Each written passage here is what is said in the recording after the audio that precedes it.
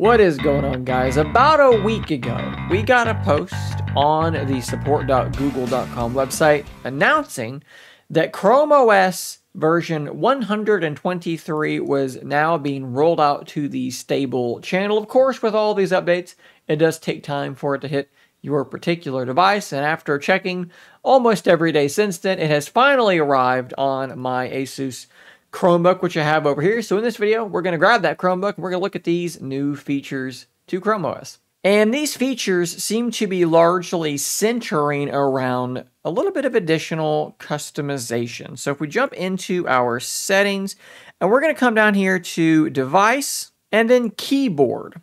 And you should see right here, customize keyboard keys. And if you click on that, you can go in here and you can actually change what each of these keys does. I must admit, I don't know why you would want your launcher to be something else, but hey, maybe you want it to be the assistant, right? So now whenever you press that, that's going to fire up Google Assistant right there. I mean, that's potentially kind of cool, although what would you be using for your launcher? I guess you'd have to come down here and just click it manually, but whatever. You can customize that to your heart's content, make it be whatever you want, but you also can change these guys down here, which actually give you shortcuts. So as you know, on a Chrome OS keyboard, there's probably not going to be a delete key, but you can do launcher plus backspace. Maybe you don't like that though. Maybe you want to do alt and backspace. Maybe you want to do alt and arrow down for page down instead of using that launcher key. And you can also add shortcuts for F11 and F12. I do wish that it was like fully customizable instead of just sort of presets, but it's definitely better than nothing. And if we go back, and now we're going to go into mouse. Now, I don't think you'll see mouse if you don't have an external mouse actually plugged in, but if you do, you'll see that. And then under this, you can see customize mouse buttons.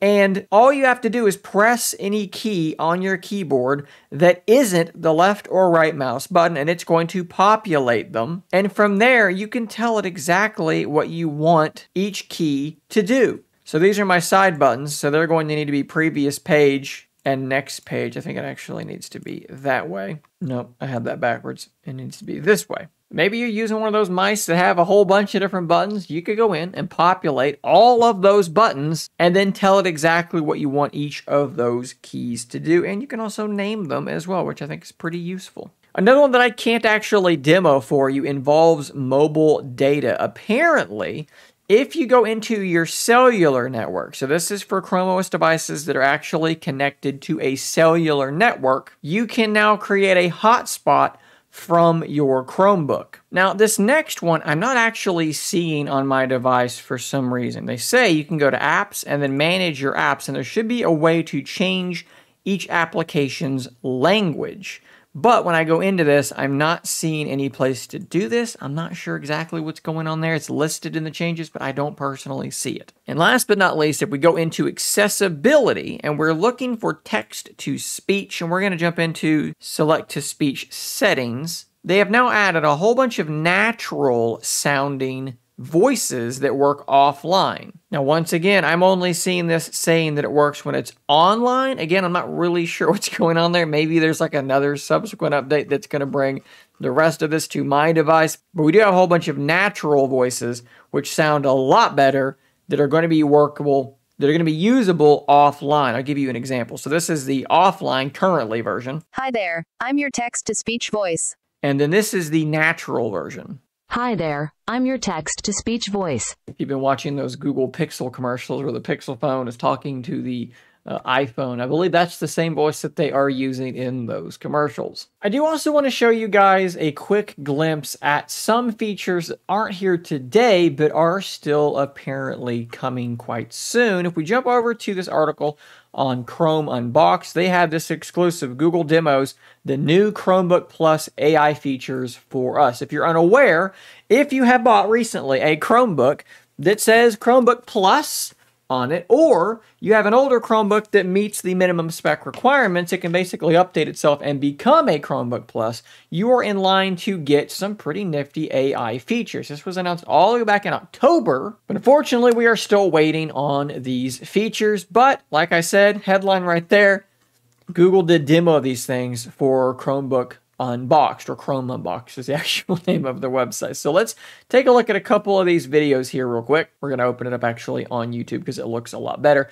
This first one is called Help Me Write. So basically what you have here is the ability to click in a text field and you can have this little box that pops up. So he's writing a review of this laptop. So instead of just writing it themselves, they're typing in, write a product review that highlights how to, basically they're, they're telling it like what they want it to write.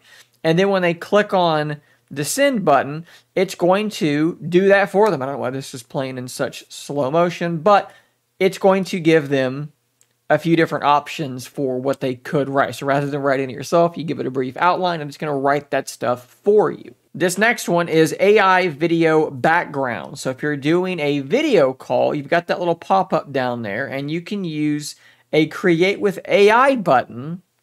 And this is very similar to the AI wallpaper maker in Pixel devices. And we're actually going to look at that almost exact feature again on this device here in just a second or one of these demos where you're going to basically have it create for you a background like they just chose a distressed high tea cafe and that creates it for them and now that is their backdrop for their video call it's a little bit silly but kind of cool and now we have chromebook plus ai wallpapers and it's very very similar to what we just saw and very similar to what we have on Pixel devices.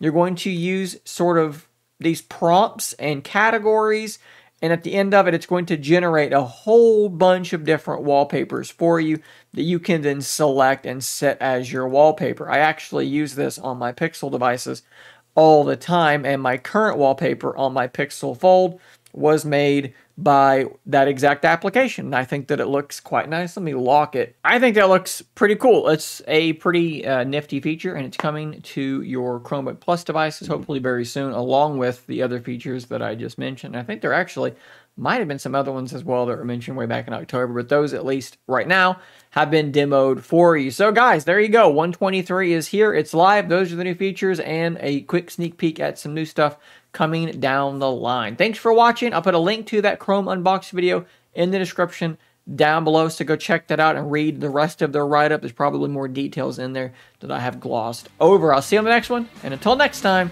stay nerdy, my friends.